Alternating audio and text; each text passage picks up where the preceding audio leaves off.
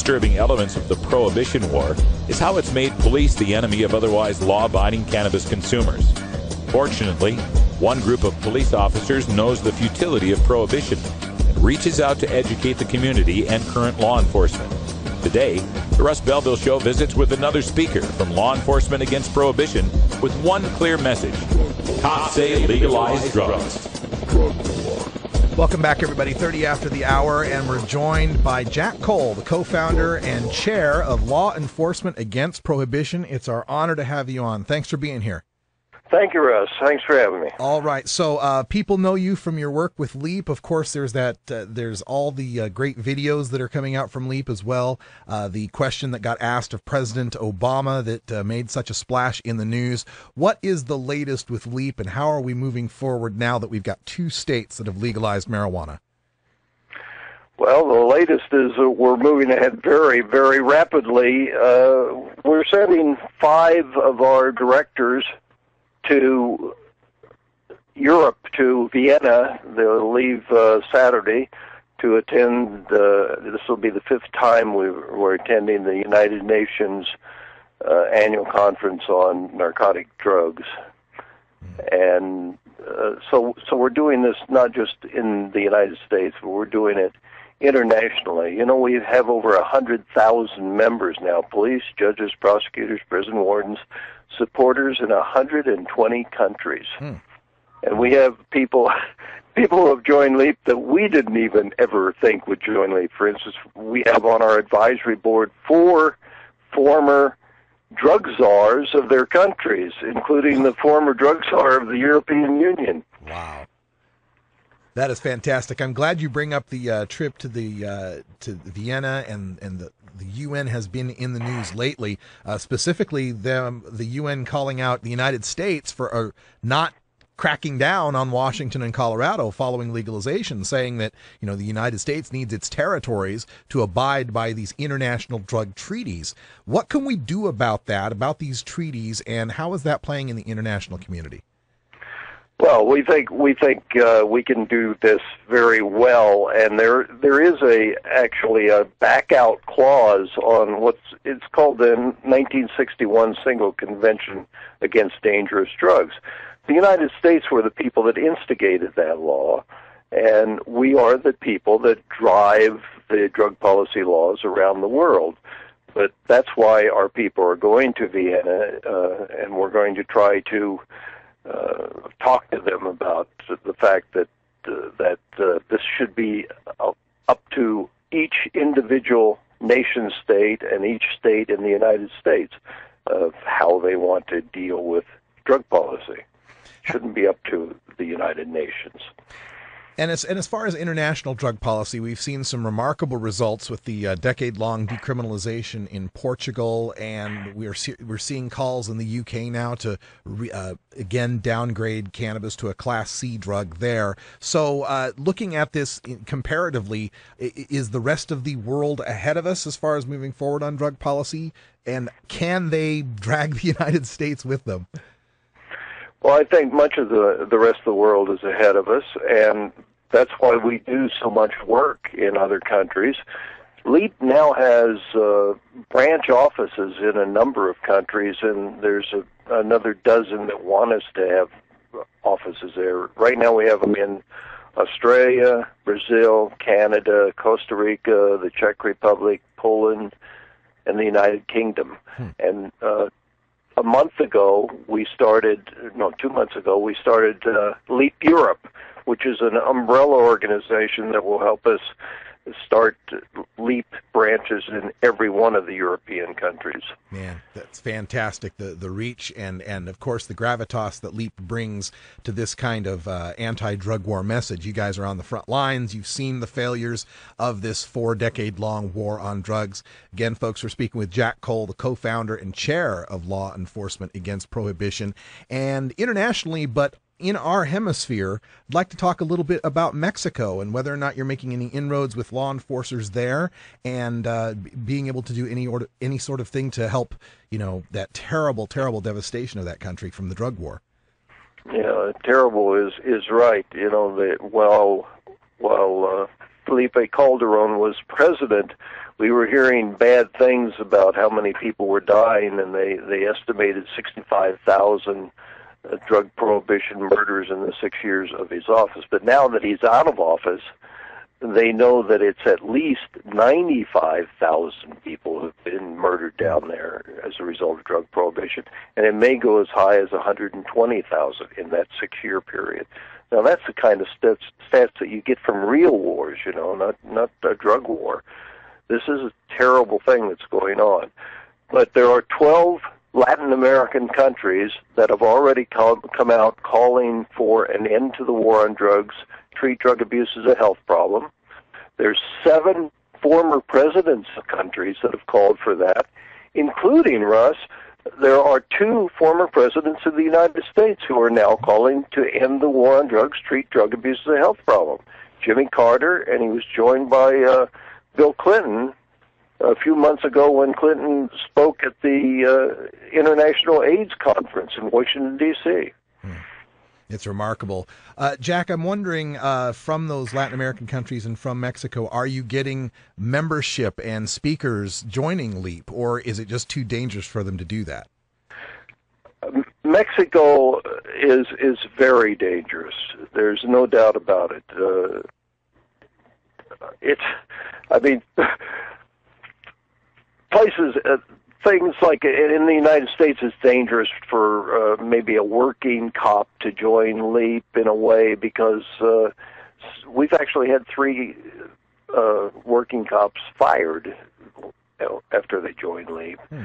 Uh, they there's only one of the cases that's actually been uh, heard and and decided by the court and in that case, uh, they gave the the person that was fired all these back wages. It reinstated him at uh, full pay and at full rank, plus gave him eight hundred and fifteen thousand dollars as a penalty payment. And and when when that was done, his chief of police says, "I don't care what you say. We don't want him back." So the court said, well, that's okay. You don't have to have him back, but you have to pay him for the next 20 years and then give him his full retirement. so, uh, uh, if we get a few more findings like that, I'm sure uh, things work out pretty good for our police officers yeah, that they, are joining LEAP. Yeah, they they should be they should be able to do this. Uh, they should be yeah, able to but, speak out. But that's nothing compared to what's going on in Mexico. Of course, in, in Mexico, if you join something like this, you could end up dead. Yeah, certainly. So uh, it's very hard for us to come up with uh, uh, speakers down there. So far, we don't have a single speaker in Mexico. Okay. That's the only country that we've been trying to get into that that we don't have a single speaker. Yeah, understandable. Uh, you know, another angle on this uh, fight is bringing in more voices to the table, and of course, Leap was one of the first groups to bring in the law enforcement voices. Now we're starting to hear voices in civil rights, and I understand uh, Ms. Alice Huffman from the California NAACP is uh, strongly involved with Leap. Could you tell us a little bit about that and that outreach Absolutely. to the African She's on our community? board of directors yes. for our our nation, international board of directors and uh, I, I was so happy to have her come in. As a matter of fact, we had to change our bylaws to uh, allow her to come in because before that, to be a speaker, you know, as you, you know well, anybody can join LEAP, but to be a speaker or a board member, you had to be a current or former law enforcer. So we changed our bylaws just to allow her to come in. She's such a dynamic person and and uh, has such great ideas and and we are seeing now that uh, that what I've seen all along is the all this is based really on racism. And if you go back and you study how any of these laws came about uh, on drug policy, every one of them was based on racism even even alcohol prohibition, either racism or, or gender or not gender uh, or eth- ethnicity bias of uh, someone's ethnicity. The one of the largest supporters of alcohol prohibition was the Ku Klux Klan. Hmm. Wow. Uh, I wanted to get into a topic, and this is a little maybe in left field, but my listeners know that usually whenever there's a big story in the news, I find some way to tie it to the drug war, to prohibition in some way. And I can understand if you don't want to touch this with a 10 foot pole, but I'm going to throw it out there. Uh, a few weeks ago, we had that terrible case of Christopher Dorner, the former LAPD, who went on his rampage and alleged all sorts of misgivings and misdoings in the uh, LAPD, racism uh, afoot. And I'm just wondering how it just seems to me that this is exacerbated. I'm not going to say it's caused, but exacerbated by this warfare militarization mentality that's been built up over the war on drugs. And I just wondered if you had any thoughts on that you wanted to share.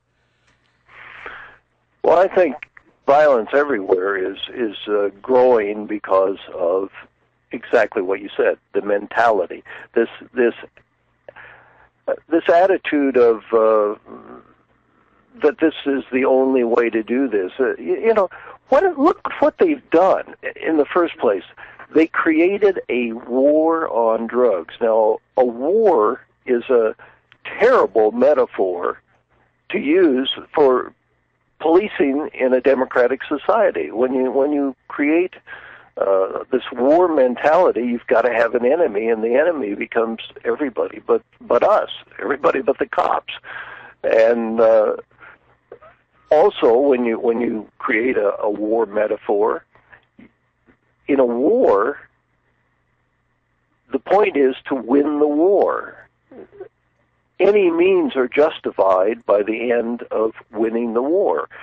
And I absolutely think that is one of the main things that drives this tremendous amount of corruption we get in police officers when it comes to enforcing or not enforcing uh, the prohibition laws you know, at LEAP we call those laws. Uh, we we say they're. Uh, I, am getting a lot of feedback from the phone, so it's a little distracting. Sorry about I'm that. Sorry. Uh, uh, we we refer to those laws as uh, consensual crimes.